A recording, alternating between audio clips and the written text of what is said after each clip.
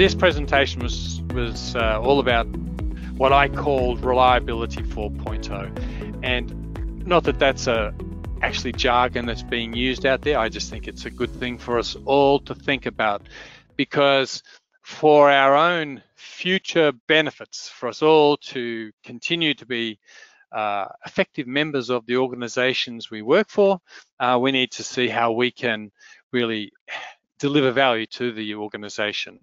And I would say that it's not just about seeing the future, it's improving the future. So since I yeah, I don't know if anyone else has ever said reliability 4.0. I just make things up sometimes. But you know, reliability 1.0 is just reactive maintenance, replace it when it fails, and hopefully get good at it.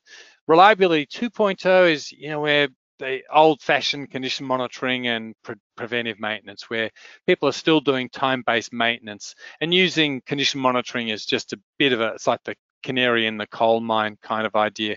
Oh, something's going on. Um, we'll just keep, you know, watching it sort of thing. Reliability 3.0 is condition, true condition-based maintenance and the typical sort of reliability improvements that have been made over the last, you know, 20, 25 years or whatever. You know, improving our alignments of equipment and balancing and installation and lubrication and you know, doing those sort of obvious things. And, and that's all great. You know, for me, reliability 4.0 is just is just taking that extra step and making sure that the organization does have the culture, make sure that everyone has a focus on the business goals, that we're sharing knowledge, and that basically we are doing everything to proactively eliminate the root causes of faults. So we're not just reacting to faults when they come up. Um, we are we are interpreting or anticipating where they're going to come and taking the necessary steps, looking at procurement, design, um, acceptance testing, spares management, all those areas uh, to, to get ahead of it.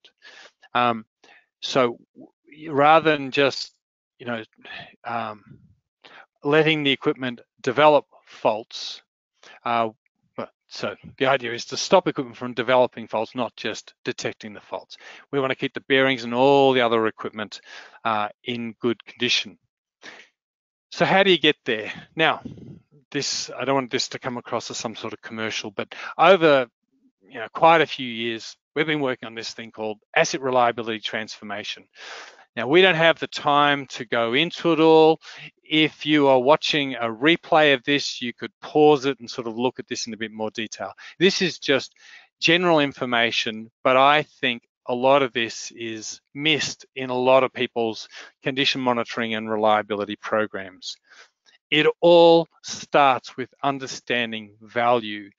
You need to understand how all of your condition monitoring and reliability improvement uh, tasks and activities help the organization. And you need to prioritize everything that will have so that what you do has the greatest impact to help the organization you're developing that business case, being able to speak the language of finance and economics to be able to convince management and everyone else in the organization that what you're doing is important.